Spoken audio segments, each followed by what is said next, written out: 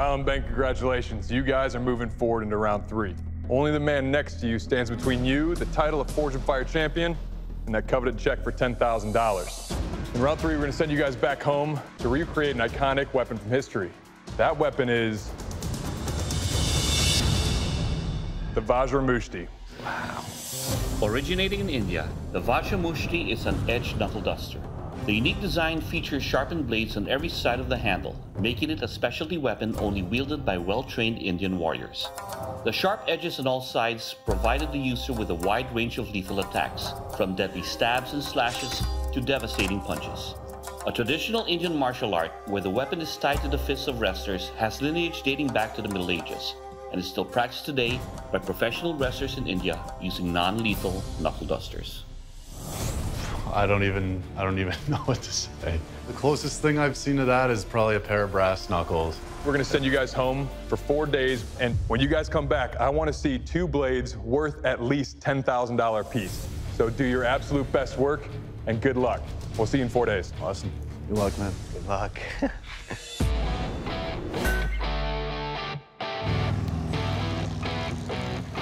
I feel good to be back home here in Bellows Falls, Vermont, and we're going to make the Vajramushti. I've never made a Vajramushti or anything close to it. So I decided to use 1084 carbon steel because it's something I'm more familiar with. I think the most difficult part of the challenge will be making the handle, something that I'm definitely gonna have to pay a lot of attention to. The two smaller blades are basically the same. One's a little longer than the other. You know, and then the other blade's just a big rectangle. Five hours into it, I feel pretty good. Uh, one more soak in the forge, and then I'll quench them. I got all the forging out of the way, so I'm feeling good. End of day one, I'm really glad I got the heat treat done. Looks good. Day two, I'm a little tired this morning, but I feel great, ready to get this show on the road. I decided that I'm gonna go with a torch heat treatment because the handle doesn't need to be hard. I just need the blades hard and the knuckle blade hard. So I did one, and I'm scared I'm gonna crack it in half because right after the quench, it is brittle. So any little shock or hit could cause catastrophic cracking. Luckily, I don't see any cracks, so I think the quench went well. That's gonna have to do. It's beginning of day two, and I can't wait to get started. For the handle, I'm gonna go with copper. It's moving a lot better than I thought it was going to. I want to pay really close attention to detail. I want to make a $10,000 knife.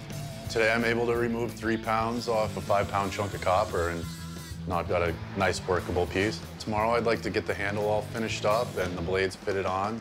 That's basically it.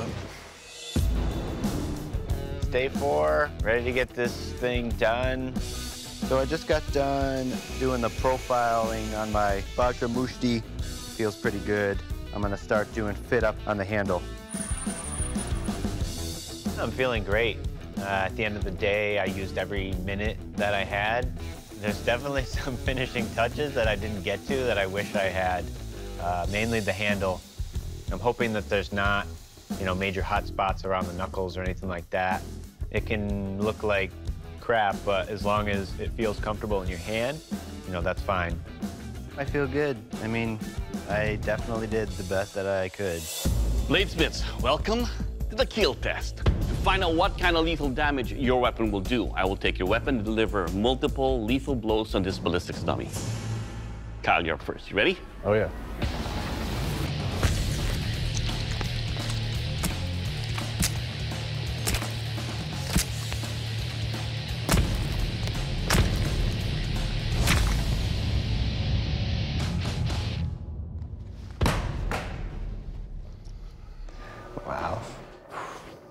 All right, Kyle, let's talk about your weapon here.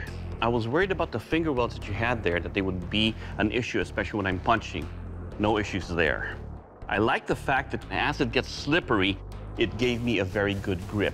Overall, it is a beautiful piece, and your weapon will kill. Oh, yeah. All right, Ben, your turn, sir. Are you ready? I'm ready. Let's do this.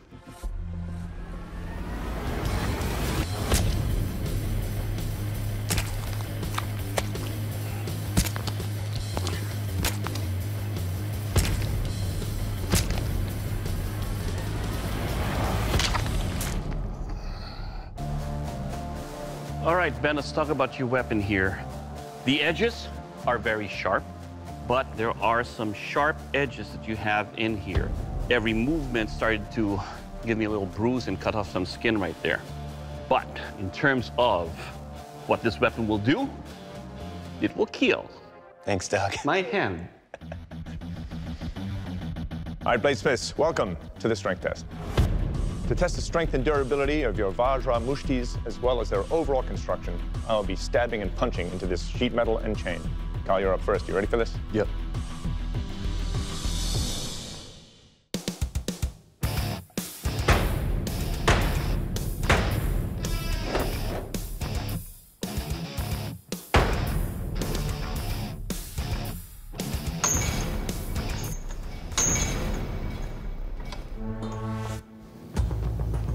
All right, Kyle.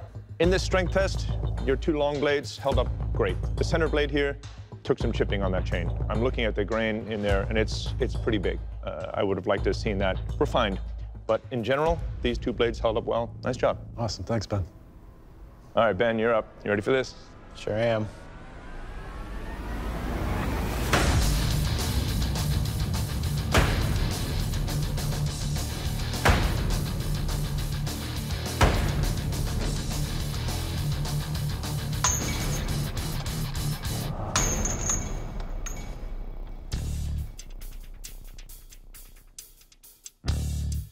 All right, Ben. Well, the first thing I feel when I pick this weapon up is its sheer mass. I mean, it's a heavy, heavy weapon. That did you some justice in the strength test. The only thing I could see is a little bit of glinting on the lower blade, but the middle blade, it took a pretty major deflection right here. It kind of cracked one more little little hit here, and that would just come off. The main thing working against you on this blade is the rough inner surface. I couldn't really find a real comfortable way of getting this finger out of harm's way. But after the strength test is all in one piece, nice job. Thank you. All right, bladesmiths, we know your weapons can heal, and we know they are strong. Now it's time to find out just how sharp they are. To find out, we'll take your weapons and deliver some stabs and slices on these spice bags. Kyle, you're up first. You ready for this? Yep. Let's do this.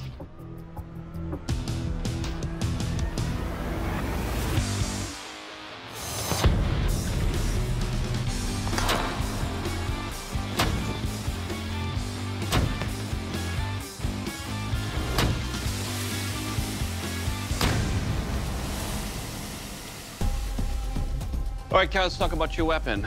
It is comfortable. It's a good fit on my hand. It's got a pointy enough tip over there, but with that one piece where you're missing some edges, it was more of a jagged cut. When it came to stabbing and slashing on both weapons on each end, it'll cut. Good job. Thank you, Doug. Ben, your turn, sir. You ready? Ready, let's go. Let's do it.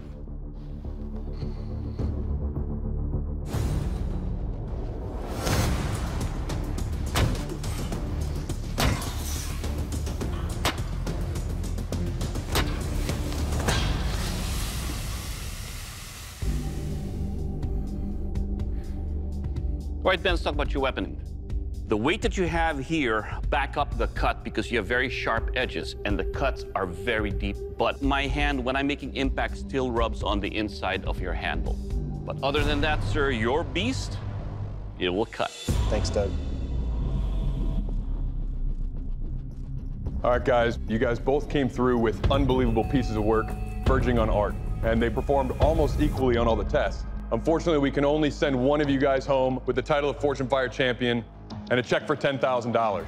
And our champion today is Kyle. Congratulations. Ben, unfortunately, you're not walking home the champion today. Doug's going to tell you why. Ben, I commend you on building a very unique weapon, but only your handle affected both of us when we were testing it. For that reason, we're sending you home. Totally understand. Uh, ben, you obviously showed you have what it takes to be in the Forge and to compete with some of the best. But unfortunately, the time has come and I have to ask you to leave the Forge floor. Thank you, guys. This was awesome, for sure. Kyle, amazing job. Honestly, I feel great. I mean, it was an amazing experience. I'm super happy for Kyle. I had a feeling that handle was going to get me, but I busted my butt and honestly did the best that I could, so I don't have any regrets. Well, Kyle, congratulations. You'll be leaving here with the title, Forged in Fire champion, and a check for $10,000. Congratulations. Thank you. My wife's going to be super pumped when I tell her that I'm the next Forged in Fire champion. What are you going to do with that cash, man? My wife and I are probably going to use it for a down payment on a house. That's absolutely Nice, fantastic. nice. Cool. 18 months ago, I would have never imagined being here today. Hell yeah, I'm Forged in Fire champion.